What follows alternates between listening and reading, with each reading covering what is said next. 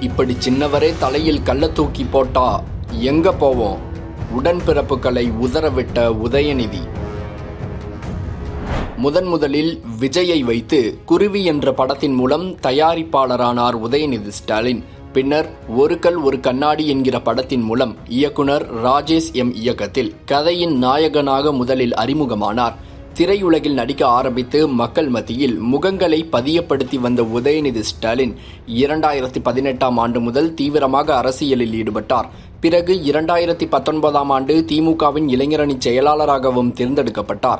அதனைத் தொடர்ந்து இரண்டாயிரத்தி இருபத்தி ஓராம் ஆண்டு நடைபெற்ற சட்டமன்ற தேர்தலில் சேப்பாக்கம் திருவில்லிக்கேணி சட்டமன்ற தொகுதியில் போட்டியிட்ட உதயநிதி அதிக வாக்குகளை பெற்று வெற்றி பெற்றார். மேலும் கடந்த ஆண்டு இளைஞர் நலன் மற்றும் விளையாட்டுத்துறை அமைச்சராக பொறுப்பேற்ற உதயநிதி ஸ்டாலின் சட்டமன்ற உறுப்பினராகவும் பதவியேற்று முதலமைச்சர் கலந்து கொள்ளும் பல்வேறு அரசியல் முக்கிய நிகழ்வுகளில் பங்கேற்று வருகிறார்.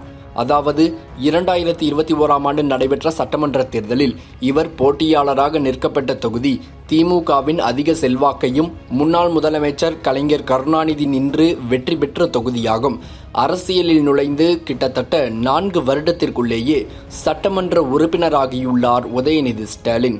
இந்த நிலையில் கடந்த வருடமே திரையுலகை விட்டு முழுவதுமாக வெளியேறுவதாகவும் தன்னை முழுவதுமாக அரசியலில் ஈடுபட வைத்துக்கொள்ளப் போவதாகவும் அறிவித்த உதயநிதி கமலஹாசனின் தயாரிப்பு நிறுவனமான ராஜ்கமல் இன்டர்நேஷனல் பிலிம்ஸ் தயாரிக்கும் படத்திலிருந்து விலகப் போவதாகவும் அமைச்சர் உதயநிதி தெரிவித்திருந்தார்.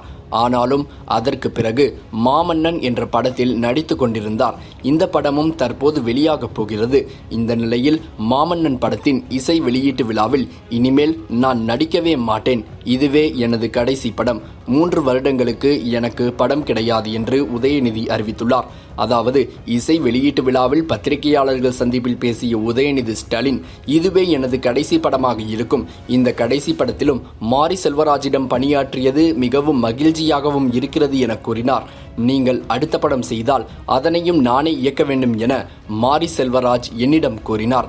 ஆனால் அடுத்த மூன்று வருடத்திற்கு கண்டிப்பாக படம் நடிக்க முடியாது.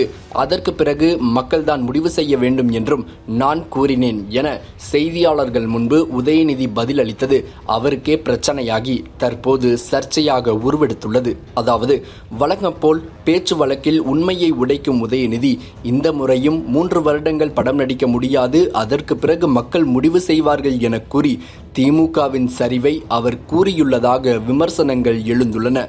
அதாவது உதயநிதி நடிக்க மாட்டேன் என்றால் இனிமேல் நான் நடிக்கப் போவதில்லை என்று உதயநிதி கூறியதற்கு திரையுலகை விட்டு வெளியேறப் போவதாகத்தான் அர்த்தம். ஆனால் மூன்று ஆண்டுகளுக்கு நடிக்க மாட்டேன் என்றால் என்ன அர்த்தம்? அடுத்து வரப்போகும் மூன்று ஆண்டுகள் மட்டும்தான் திமுக ஆட்சியில் இருக்குமா? அதன் பிறகு வரும் இரண்டாயிரத்தி இருபத்தி ஆறாம் ஆண்டு தேர்தலில் தோற்றுவிடுமா? அதற்கு பிறகு ஆட்சியை விட்டு வெளியே வந்ததும் நான் நடிக்க துவங்குவேன் என உதயநிதி ஸ்டாலின் மறைமுகமாக கூறியுள்ளதாக அரசியல் விமர்சகர்கள் தெரிவித்து வருகின்றனர்.